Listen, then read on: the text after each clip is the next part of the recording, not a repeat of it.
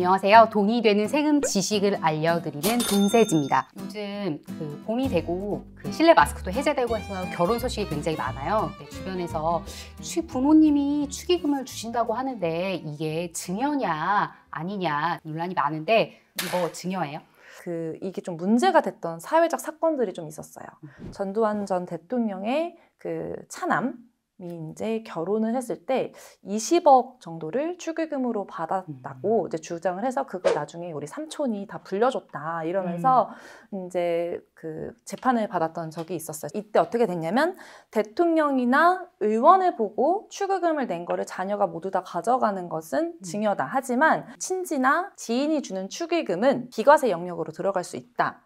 라고 이제 여기서 판시를 했습니다. 네. 축의금을 전부 자녀가 가져가면은 증여가 될 수 있다. 네, 일단 기본적으로 세법에서는 이 축의금을 부모님의 받으시는 돈이라고 생각을 하고 있어요. 음. 왜냐하면은 대부분 혼주가 우리나라 그 결혼 풍습상 대부분의 비용을 지불을 하고 음. 그것에 대해서 하객들이 이제 주는 돈이라고 생각을 하는 것이 기본적인 원칙이기 때문에 이 부모님이 받은 돈을 전부 자식에게 주면은 그거는 증여가 될 수 있습니다. 또 기념품, 축하금, 부의금은 그 물품 또는 금액을 지급한 자별로 사회통념상 인정되는 물품 또는 금액을 기준으로 한다. 이제 이런 부분이 있거든요. 근데 그 사회통념상 인정되는 기준이 이게 되게 애매하잖아요. 네, 그래서 매우 음. 애매한 부분이기 때문에 법적으로 사실 해석의 영역을 정말 많이 이제 열어둔 거예요. 그리고 또 결혼을 시키는 부모님의 재력이 정말 천차만별이잖아요. 어떤 뭐 가족의 경우에는 뭐 10만 원 정도까지 인정이 되는 거고, 어떤 가족의 경우에는 또 100만 원까지도 인정이 될 수 있는 부분이고,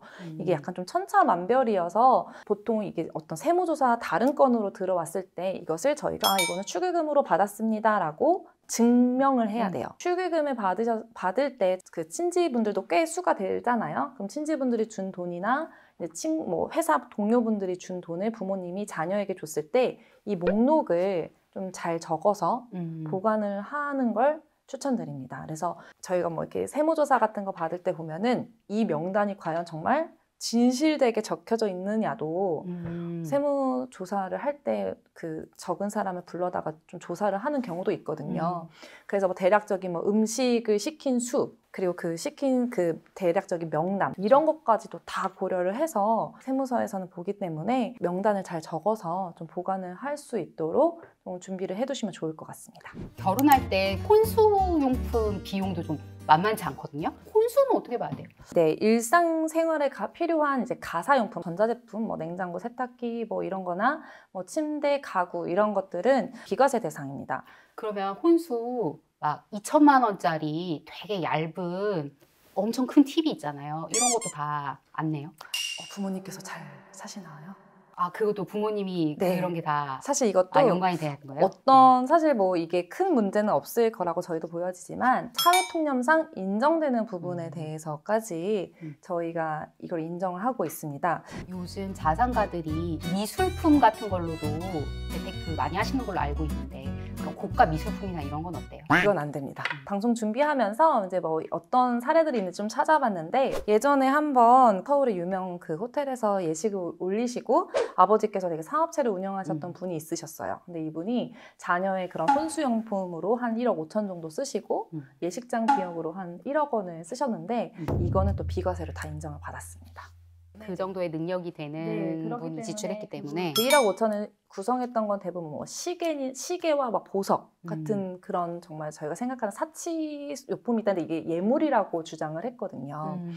근데 이제 이분의 뭐 재력이나 뭐 자산, 그분들의 뭐 하객의 수준 이런 것을 봤을 때 아, 이 정도는 혼수용품으로 어, 지출할 수 있는 비용 이 맞다라고 인정을 해서 이거 이 전액에 대해서 비과세를 받은 사례가 있었습니다. 그래서 이 사례를 말씀을 드리는 거는 아무래도 이게 사회 통념상 인정되는 부분에 따라서 비과세 여부가 결정이 되기 때문에 세무조사를 안 받으시면 좋겠지만 받게 되면 이런 것까지 다 고려를 해서 과세 여부를 결정하게 된다라는 점을 다시 한번 말씀드리겠습니다. 아, 새 출발을 할 때 가장 큰 문제가 집인 것 같아요. 요새 전세 보증금, 월세도 그렇고 매매도 다 가격이 좀 만만치 않아가지고 요때 이 자금 지원하는 부분도 많이들 궁금해하세요. 네, 실제로 많이 물어보시는 거예요. 내가 내 자식 결혼하고 새 출발하는데 집 한 칸 마련해 주는 거, 집 사주는 것도 아닌데 전세 보증금 주는 게 문제냐 근데 이것도 역시 증여 대상이 될 수 있습니다. 왜냐하면 이 전세 보증금이 그 나중에 뭐 돌려받을 수 있는 돈이라고 생각을 하지만 이건 어쨌든 주는 순간 현금을 준 게 대부분이고 보통 자녀 이름으로 전세 계약을 하게 되잖아요. 그 자녀가 나중에 집주인으로부터 그 돈을 돌려받을 수 있는 채권을 갖게 되는 거기 때문에 어떻게 보면 자산을 갖게 됐다고도 볼 수도 있거든요. 돌려받을 수 있는 권리죠. 네, 채권. 그렇기 때문에 음. 전세 보증금은 또 금액이 뭐 천만 원, 이천만 원 적은 돈은 좀 아니기 때문에 이 전세 보증금으로 주는 돈은 기본적으로 증여세 과세 대상이라고 보시는 것이 좋을 것 같아요. 근데 그 전세 보증금을 부모님이 지원해 주시는 게 아니라 정말 내가 뭐 한 1, 2억 모자라서 빌려 쓸 수도 있잖아요, 실제로. 그럴 네. 때는 어떻게 해야 돼요? 네, 이런 경우에는 사실 차용증을 좀 쓰셔서 그 차용 관계를 이제 입증하시는 것을 준비하는 것을 저희 추천을 드리는데요. 부모님한테 돈을 빌린다는 게 사실 상식적으로 잘 받아들여지기 어렵죠. 왠지 뗐으면은 아유 그래 그거 너 가져 이렇게 말씀하실 수도 있다라고 보는 것이 이제 기본적인 시각이기 때문에 음. 이 과세 관점에서 부모님과 자식 간의 그 차용 관계는 매우 엄격하게 보고 있습니다. 그렇기 때문에 이거를 저희가 피해갈 수 있을 거다, 눈속임으로 이제 속일 수 있을 거다라고 보는 것은 사실 대부분 어렵고요. 정말로 갚을 의지가 있고 능력이 있을 때 사용하시라고 추천드리는 것이 이 차용증이에요. 현금 증여가 뭔지에 대해서 좀 간단하게 설명해 주셔야 될 것 같아요. 먼저 증여세는 받는 사람을 기준으로 돼요. 내가 누구로부터 얼마를 받느냐에 따라서 이 증여세가 따로따로 이렇게 계산이 된다라는 부분에서 정말 다른데 사실 그러면 어머님이 한 뭐 돈을 주고 아버님이 따로 주셨을 때 이게 따로 계산이 되느냐? 그거는 아닙니다. 이 엄마 아빠 이 부모님은 무조건 하나의 카테고리고 또 조모 조부 이렇게 두 분이 또 카테고리고 외 조부모가 또 한 카테고리고 그래서 이 세 카테고리가 나에게 돈을 줬을 때 증여세가 따로 따로 따로 계산이 된다라는 말씀이에요. 네. 그러면 우리가 보통 5천만 원까지는 증여세를 내지 않는다. 그거는 말씀하신 대로 카테고리별로 5천만 원이겠네요.